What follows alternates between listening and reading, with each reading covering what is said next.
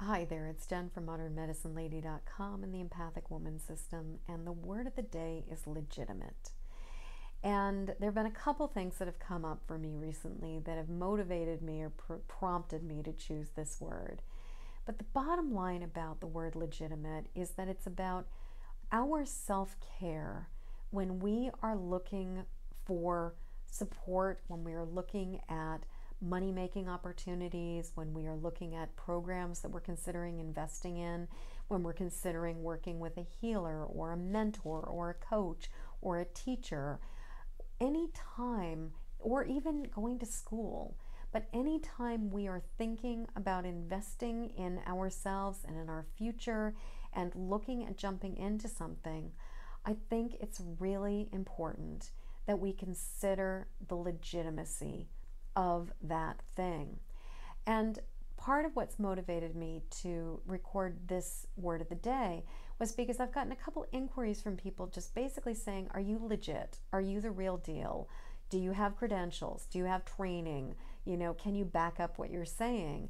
And I'm extremely grateful when people ask me that question because I think it's a really important question. And it matters to me that the people that I work with who help me and serve me have credentials and have training and have expertise and have skills. And I would hope that it matters to the people who work with me that I have spent a lot of time and energy and effort and money investing in my training and in my skills so that I know what the hell I'm doing. And I so I really see that question as not only something I welcome when people ask me, you know, do you, you know, are you legit?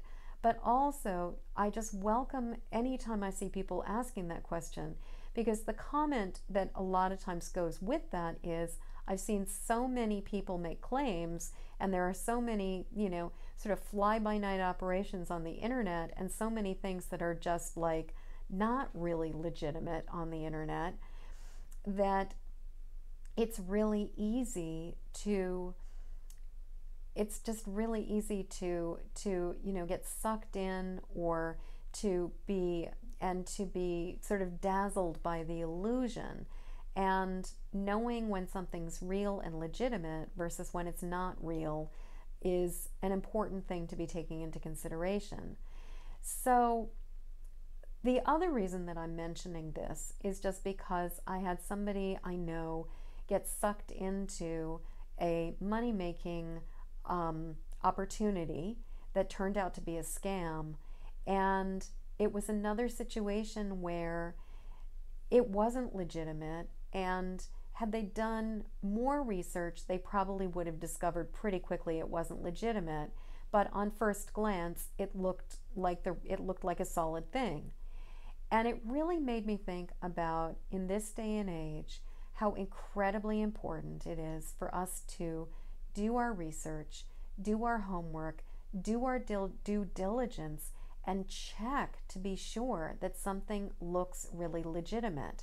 And do, you know, like spend some time Googling look something up and see if you can get multiple sources or if the only thing you're finding about it is it's uh, is is just the website itself.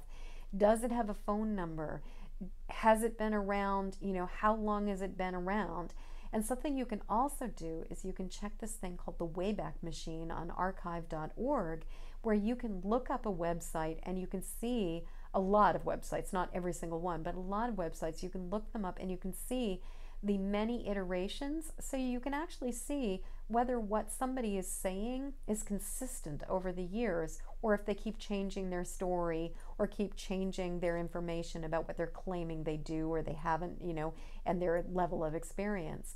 So that's something that I think is really, it can be very, very helpful is just doing a little bit of research, doing some Googling, looking for testimonials, being sure that, that you know, looking to be sure that there is some way to contact somebody if you are going to be engaging, and particularly if you're going to be giving somebody money and investing in something, but just finding ways to be sure that what you are considering getting help from, you are considering investing in, you are considering, you know, as a, a place to get a training from, any of these things, that it is legitimate and that you are going to get what it is that you're actually looking for. So, my question for you right now is do you check for when you are considering jumping into something?